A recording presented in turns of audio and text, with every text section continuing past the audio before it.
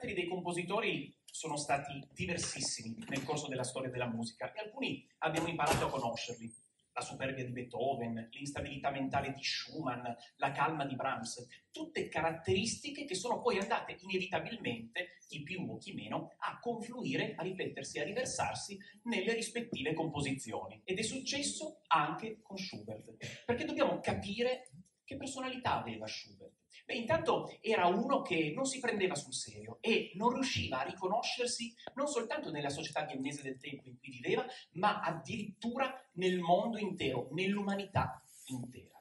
Si sentiva un alieno, uno straniero e la sua mente viaggiava a delle lunghezze d'onda diverse da quelle a cui viaggiavano quelle degli altri e si sentiva impacciato, imbranato, insicuro anche nelle azioni quotidiane più semplici.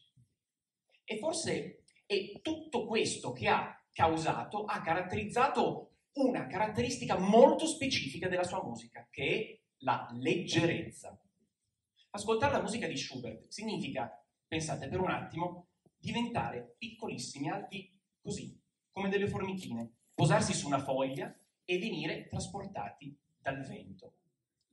La musica di Schubert non ha una direzione, non è paragonabile al, a un fiume, a un corso d'acqua che nasce mh, in montagna, in un punto A preciso, ha un suo letto, un suo percorso e arriva in un punto B, il lago o il mare. E la musica di Schubert non è nemmeno paragonabile ad una freccia che viene scagliata da un arciere in un punto A, segue la sua arcata, la sua traiettoria, arriva in un punto preciso B.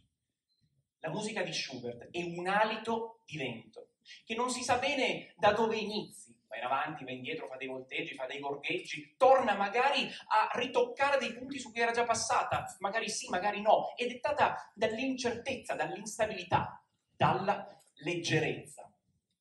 E questo vento va avanti, inevitabilmente, e anche lentamente, va avanti, è capace di andare avanti per chilometri, chilometri e chilometri, passando sopra i panorami più incredibili, sopra mari, fiumi, montagne, vulcani, colline e poi ad un certo punto questa musica puff, scompare all'improvviso, così come all'improvviso da non si sa dove era apparsa. E in quanto vento, la musica di Schubert non si può vedere, non si può toccare, ma si può sentire, si può percepire. Ed essendo una musica di Schubert, è una musica che, come un vento, volteggia non in faccia, ma sopra le nostre teste, se ne sta sulle sue. Ora, io non so dirvi e non posso dirvi che tipo di vento sperimenterete questa sera, se più caldo o più freddo, più intenso o più lieve, perché ognuno di noi sperimenta il vento in modo differente a seconda di ogni situazione. Lascio quindi a voi il piacere di scoprirlo. Buon ascolto.